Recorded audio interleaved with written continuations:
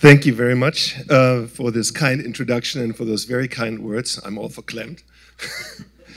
Good morning, everybody. Um, before I say anything else, I just want to um, acknowledge some people because um, I'm hopeful that everybody here enjoys themselves, uh, but the only reason why we're here is because of a few outstanding individuals, and I want to mention them.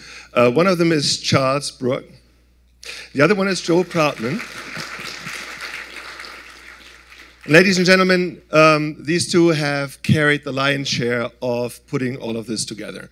Uh, I do speak at dozens of national, international meetings every year, but it is super rare to find such high caliber speakers and an audience as diverse as, as it is uh, come together and, and put something like this um, into reality. I'm very, very pleased, thankful to you, uh, to you both, but also, of course, CDFA, uh, the Dean's, the Dean's uh, office, as well as Spark uh, and the Clear Center. Thank you very much.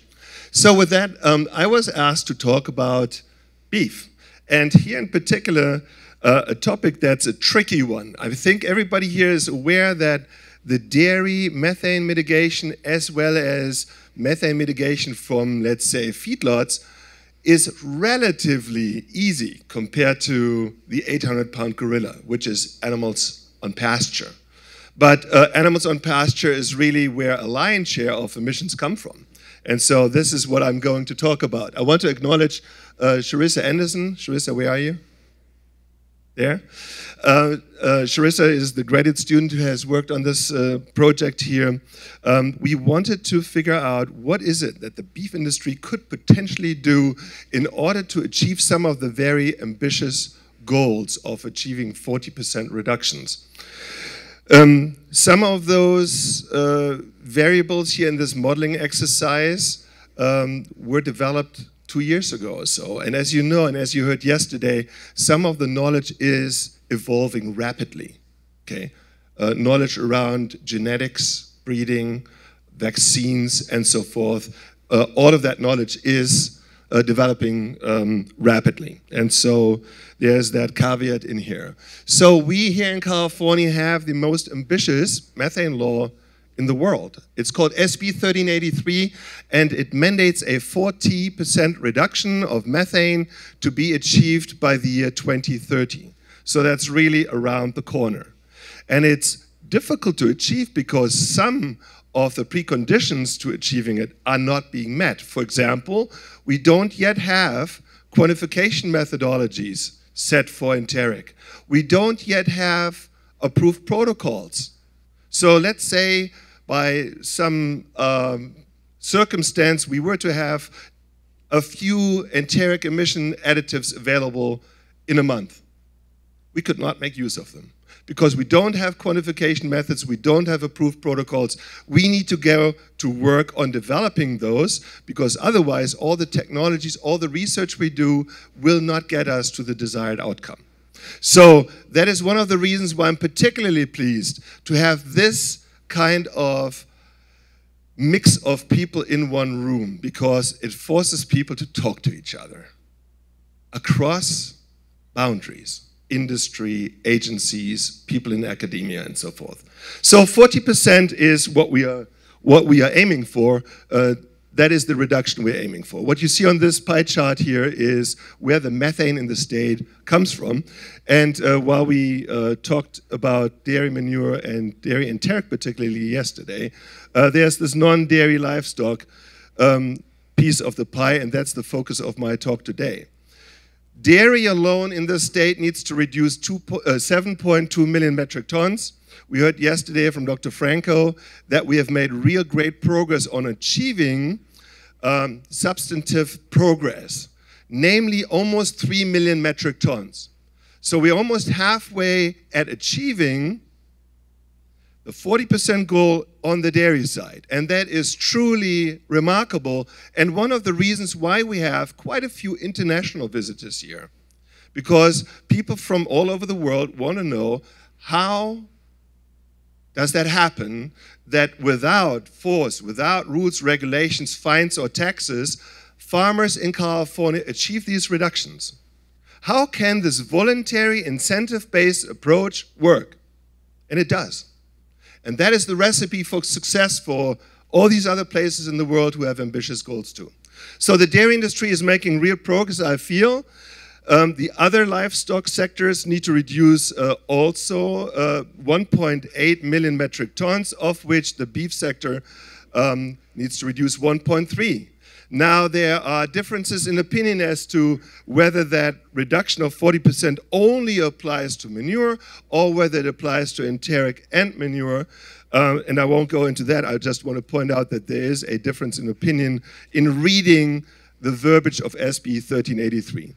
For those of you who want to read more about where we have um, gone uh, on the dairy side, this is a report that two of my colleagues, Ermias Kebreab, Dan Sumner, and I wrote um, and aimed at agencies and the legislature to show uh, the journey on the dairy side. It's called Meeting the Call. Um, but today, we'll talk about beef. I talk about beef. There are three main stages of beef production, of the beef supply chain. The one is the cow-calf operation. And earlier work that I did together with Dr. Stackhouse Lawson, who is here in the front, say hi, uh, Kim. She's busy.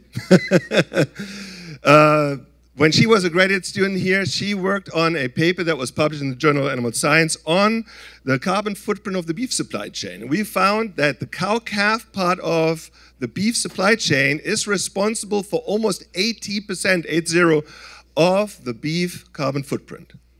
So many people think it must be the feedlots. No, it's not the feedlots, it's the cow-calf operation.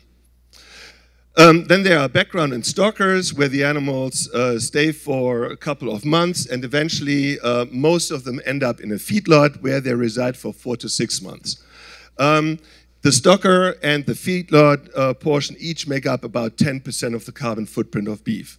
Cow-calf is where the music plays. And the question now is, how do you reduce emissions from animals that you get your hand on maybe twice a year? And not every day. How do you do that? And that's tough. So here's some statistics. Um, this is a uh, inventory set of numbers here for total beef cattle in California, 1990 versus 2019. See a slight increase there, the percent change, about 6% more beef cattle. Uh, total beef production, as you can see, has drastically grown. So beef numbers, head, have grown slightly by 6%, but beef production by 41%. That's amazing, okay? Has a lot to do with genetics, by the way.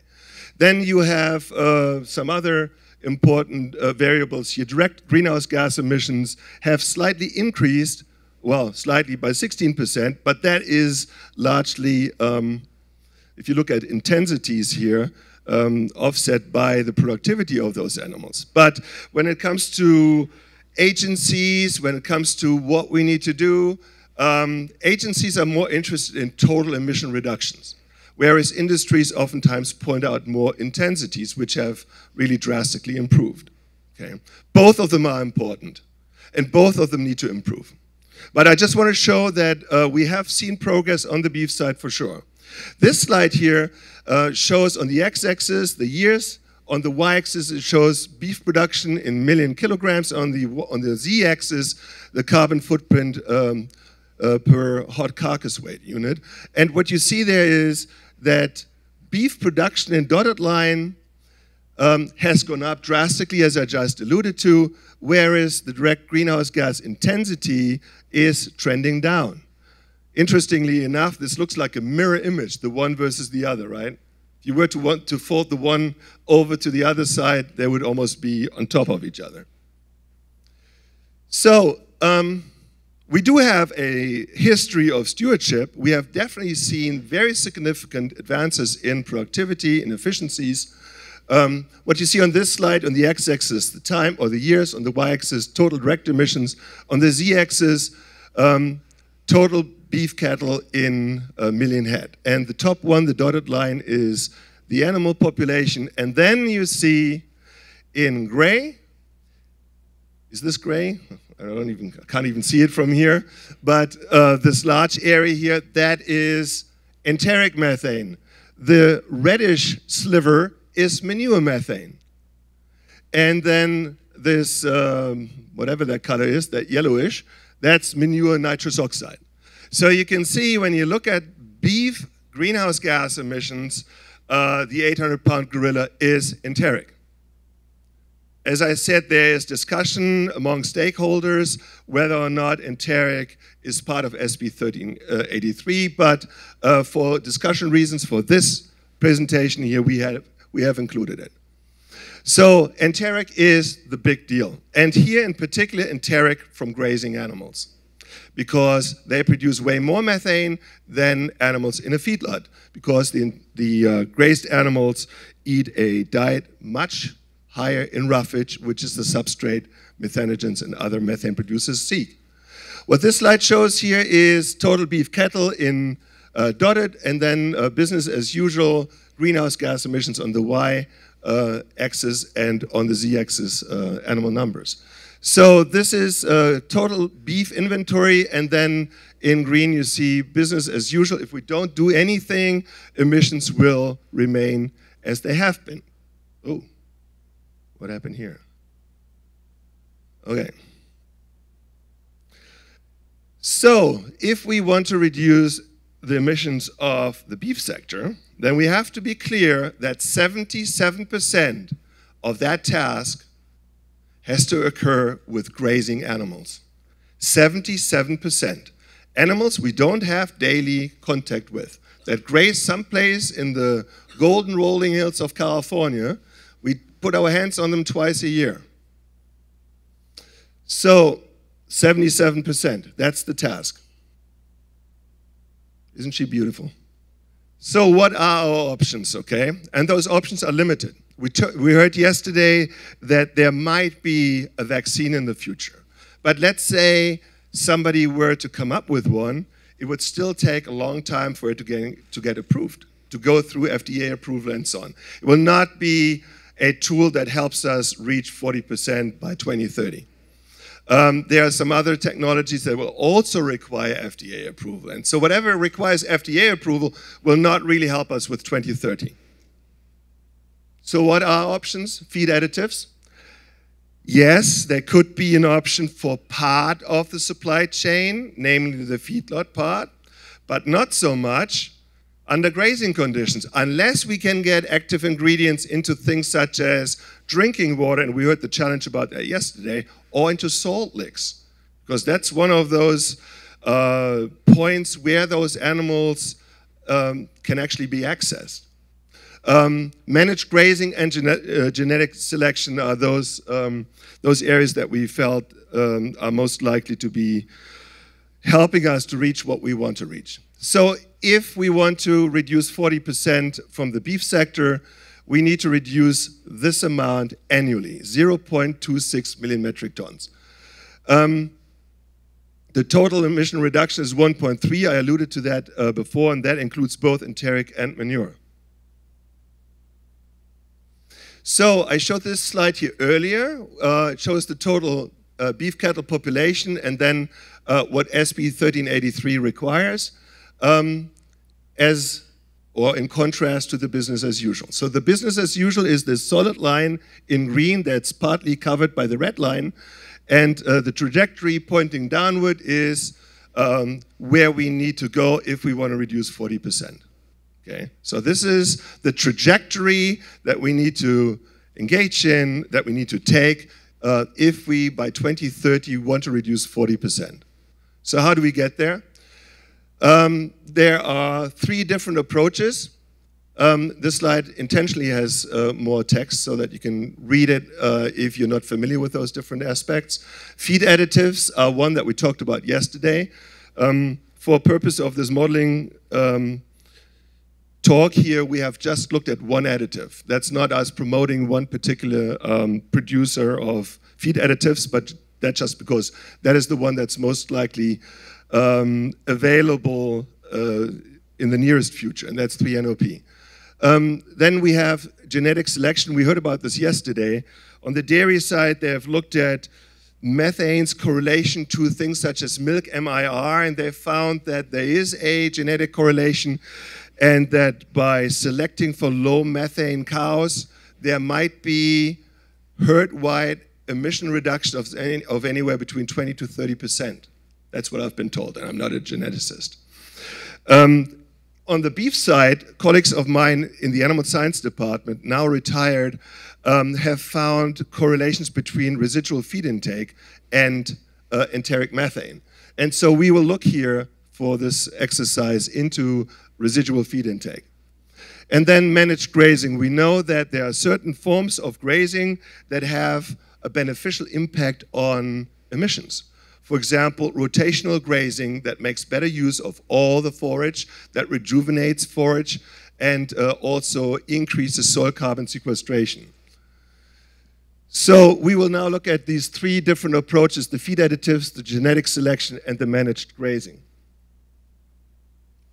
Um, this one here shows those three different approaches and the categories of cattle um, and what kind of reduction of enteric methane uh, one could expect if one were to go with the reference with the literature that was available to us at the time we wrote this paper.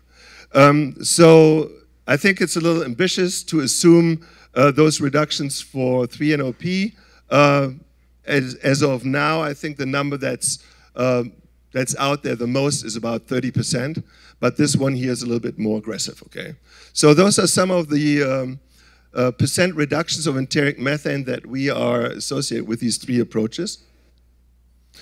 Um, for feed additives, of course, the question is always, do we only use feed additives in the stocker and feedlot environment, or can we, by some means, get these active ingredients into the entire herd?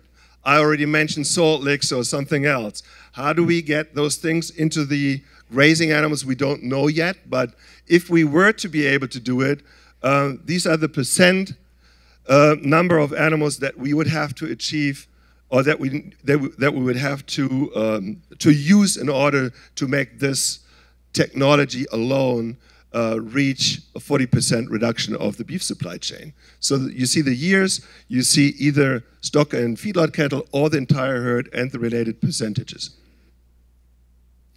Um, for genetic selection, you see here the percent uh, implementation for cows and feedlot cattle versus the entire cattle herd.